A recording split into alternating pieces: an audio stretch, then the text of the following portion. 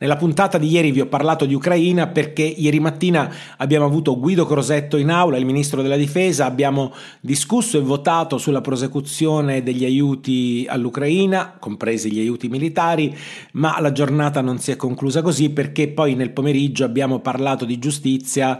avevamo un importante provvedimento da votare, da discutere e così è andata. Naturalmente la maggioranza ha portato a casa il provvedimento, ma a un occhio attento secondo me sono successe delle cose interessanti che hanno dimostrato che questa maggioranza insomma non se la passa benissimo. Proprio di questo voglio parlarvi quest'oggi, è il 14 dicembre, questa è la versione di Ivan, cominciamo.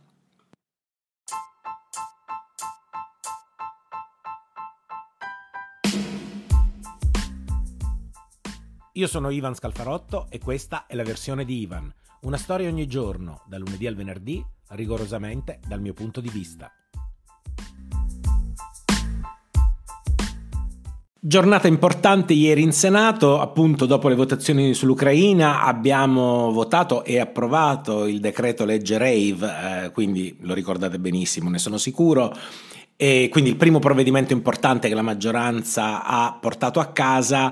eh, ma io partirei da un dato incontrovertibile che è quello dei numeri della votazione finale. Il decreto è stato approvato con 92 voti favorevoli, che sono francamente pochini. Eh, in Senato siamo 200, come sapete, più i 6 senatori a vita, quindi la maggioranza tecnicamente è fissata a 104. Da 92 a 104 mancano un bel po' di voti e ehm, direi soprattutto c'è un dato politico importante che è quello che uno dei voti mancanti sia stato quello di Licia Ronzulli, che è la presidente del gruppo di Forza Italia. Quindi il fatto che il presidente di un gruppo di maggioranza non voti eh, un provvedimento, sebbene tra l'altro lo abbia fatto per ragioni condivisibili, Ronzulli eh, sempre, si è sempre impegnata a favore dei vaccini e quindi ha detto di non, non sentirsi eh, a suo agio nel votare una norma che prevedeva la reintegrazione dei medici Novax, quindi al di là della bontà eh, delle ragioni o della condivisibilità di queste ragioni,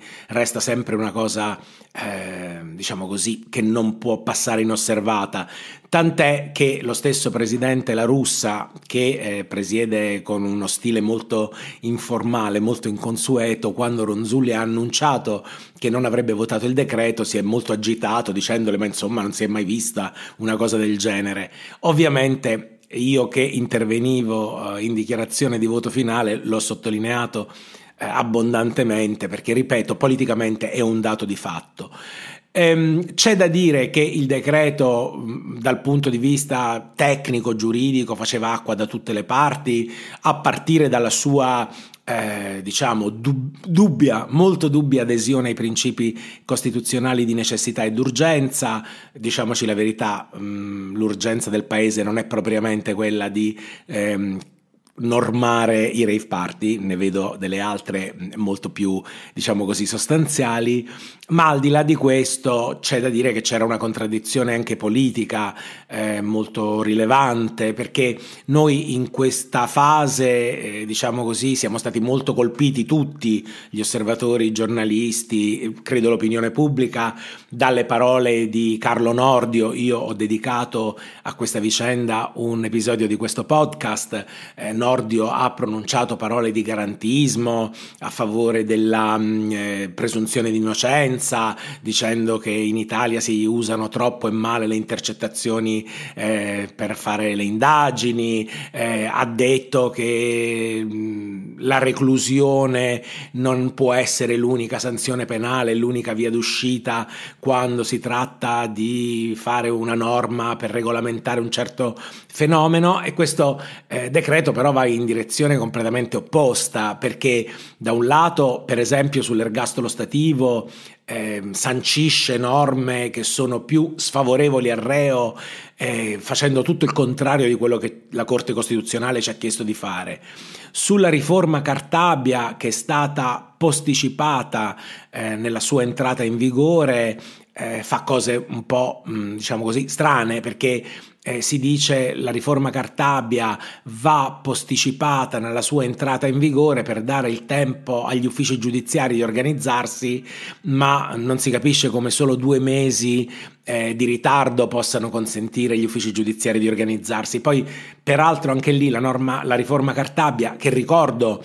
è un obiettivo del PNRR e quindi non vorrei mai che il governo volesse ancora posticiparla dicendo che gli uffici giudiziari non si sono organizzati in due mesi. Eh, la, norma, la, riforma Cartabia però prevedeva anche delle norme più garantiste, anche, anche in questo caso norme più favorevoli al reo che anch'esse sono state posticipate nell'entrata in vigore, quindi addio garantismo.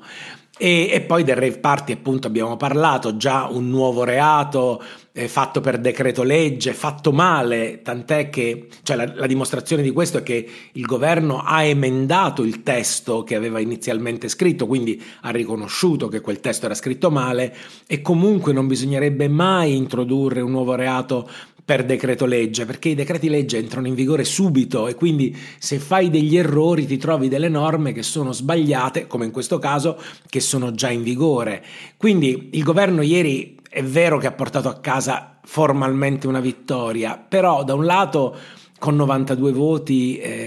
ha dimostrato di aver fatto per esempio l'errore di aver messo tutti questi senatori al governo che ovviamente fanno, hanno più fatica, fanno più fatica a, a venire in aula a votare e con 92 voti, diciamoci la verità, non si va molto avanti. Vero è che le opposizioni erano, eravamo in 75, quindi la cosa non si è notata, ma se le opposizioni si organizzassero meglio, la prossima volta il governo va sotto, quindi c'è un campanello d'allarme dal punto di vista numerico. C'è poi un altro campanello d'allarme dal punto di vista politico, perché ieri è stato evidente a tutti che le cose dette dal governo per bocca del ministro della giustizia sono completamente diverse dalle cose che il governo fa in materia di giustizia e questa vicenda presto o tardi eh, diventerà un nodo che viene al pettine perché è chiaro che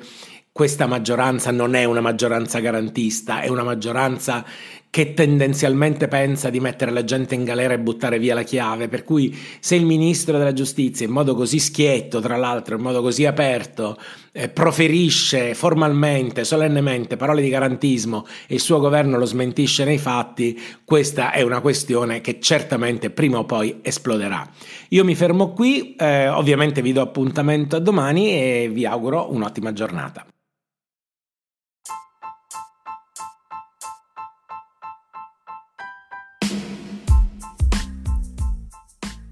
La versione di Ivan è un podcast di Ivan Scalfarotto ispirato all'omonimo libro edito dalla nave di Teseo.